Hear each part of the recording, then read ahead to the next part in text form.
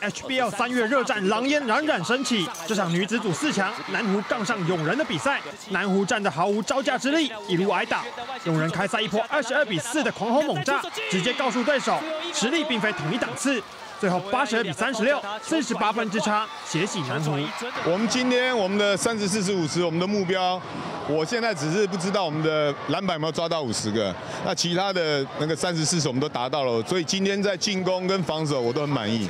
球员也都很尽力啊。何谓教练口中的三十四十五十？一指目标要赢三十分，不让对手得分破四十，五十个篮板，看似口气甚大，却所言不假。此战只差两个篮板就达标，足以看出勇人强势卫冕后座的决心。这场比赛对我们来说，我们是完全很正常的发挥出我们的水准，但是我觉得这只是第一场，对我们来说，明天最重要还是明天那一场球。其实你不感觉我们今天每一个球员表现都非常的好，而且都表现非常称职啊，真的很棒。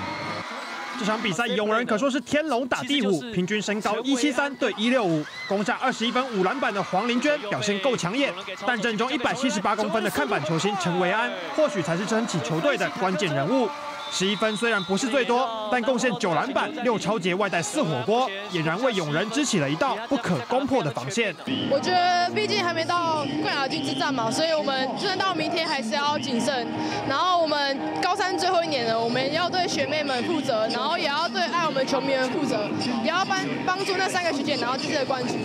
勇人女将吃了秤砣，铁了心，就是要把冠军再次收进口袋。从预赛到四强，一路血洗对手，狂拿十三连胜的气势看来，真的要问句：还有人挡得住勇人吗？我来体育新闻综合报道。